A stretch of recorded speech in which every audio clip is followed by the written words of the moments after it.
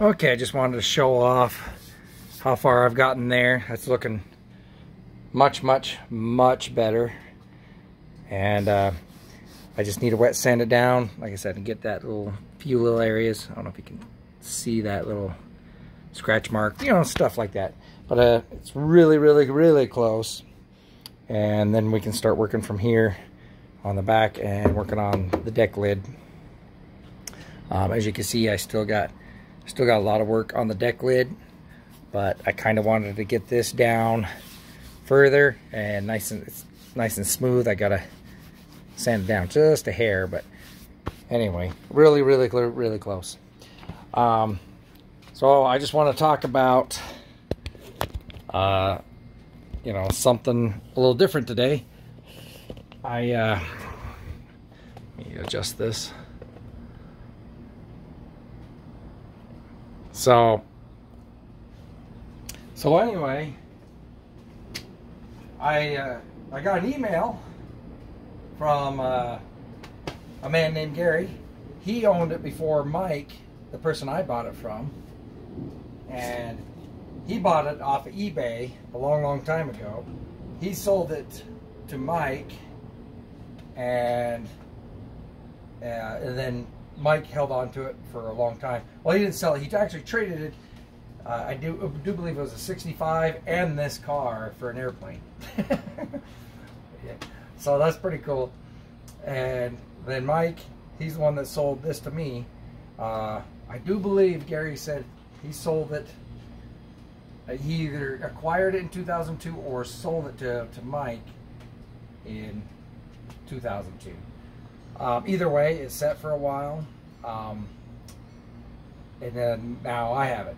So even when when Gary had it, the he already had the wide fenders and everything, and he sent me a picture of what when he had it. I'll post it right now. Um, but he he called it the Kim Kardashian rear end car. Kim Kim Kim Kim Kardashian because of the wide rear end. Me, I think it's AOC and her big old booty myself, but whatever. you know that little meme that's going around with that. uh, anyway, so that's really interesting. So he reached out to me. Um, it's a uh, he sent me another picture, and I didn't realize it, but behind here on the carpet because I, I it was never glued down, which I need to do later on. But he sent me a picture too, and that has the markings on it as an original side pipe car. So that's really cool, you know. So it came originally with the original side pipes. Uh, who knows what happened, uh, you know, to the original side pipes or whatever, because even when Gary got it, nothing was original on it. And he bought it when he bought it, he bought it off eBay. Uh, you know, not a sight unseen. He bought it and he basically stored it, you know, and went through the car a little bit, um, you know. And so there's a little bit of history there, so that's kind of cool. And uh, you know, he sent me, you know, few, he sent me a few other pictures and other things later on when he gets more time, but and finds them. So that's pretty cool, you know. I mean, find a little more history. So, you know, at least we know where the car's been for the last 20 years. He bought the car. It came. Did he say Chicago? But I'm, I, think he said Chicago. I think it was out of Illinois. So he bought it out of Illinois, and uh, yeah, so that's kind of a little bit of a history on it. It's it's on the C3 or yeah C3 Corvette registry. So there is a little bit of history to it. Um, he really did like the, he did like my rear spoiler and kind of what I did to that. You know, he kind of saw a few things here and there. So he really did like the rear spoiler. I think that's kind of the nice little thing. And, he, you know, he, he's liking what I, I've done so far. So he's glad that, you know, something's happening to the car. Uh, yeah, so that's pretty cool, you know, pretty cool to see. You know, how people can still kind of find their old car. And uh, so anyway, if Gary's watching this, I'll kind of go give it a little video of walk around for it. So you can kind of see it a little bit, a little bit better. And so he, he did ask me if I'm keeping it black. I am keeping it black. Um, this is just like, like I said, a, my own little paint job. And I, I added that front spoiler on there, so make it a little more beefy. And basically, I, I'm working from the front back. And like I said, the paint's nothing special. It's better than what it was. And doing all these body lines and getting it nice and you know put together.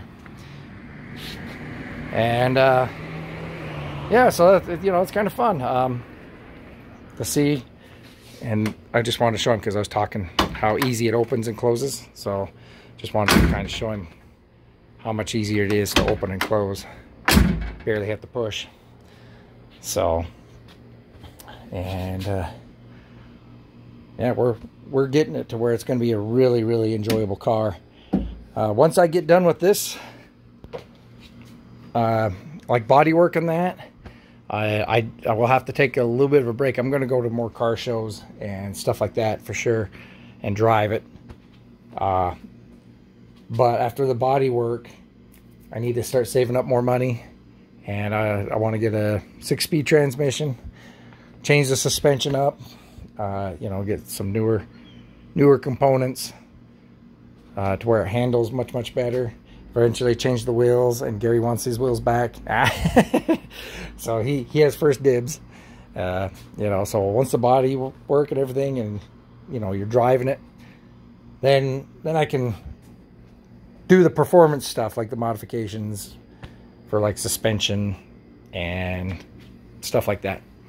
Um, so, once again, I think that that front widened out stance looks looks way way better. Let me kind of zoom in maybe get a better view of it. Just looks much much more